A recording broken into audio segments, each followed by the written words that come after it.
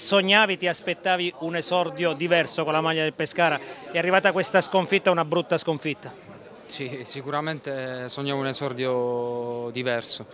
Eh, purtroppo la partita è andata così, eh, abbiamo molto da recriminare perché probabilmente non ce la siamo giocata al massimo delle nostre potenzialità, però bisogna anche ammettere che c'era una squadra in campo, il Lecce, che eh, il primo tempo ci ha messo parecchio in difficoltà. Dopo i due gol eh, è stato molto, molto difficile per noi cercare di giocare, giocare la palla. Difficoltà fisica o difficoltà tattica secondo te Giovanni? Eh, secondo me entrambe, eh, loro sembrava che andassero il, il, doppio di noi, è sensazione mia e eh, poi non, no, anche nostra. Sensazione che si, si avvertiva dal campo. Eh, a livello tecnico loro cercavano sempre le, le, imbucate, molte volte ci riuscivano e creavano il 3 contro 2, superiorità numerica oppure la palla alta sulla mantia e ci mettevano parecchio in difficoltà. Ne parlavamo anche con Ciofani qualche istante fa, ennesima sconfitta in uno scontro diretto, ennesima sconfitta in trasferta, cosa c'è che non va?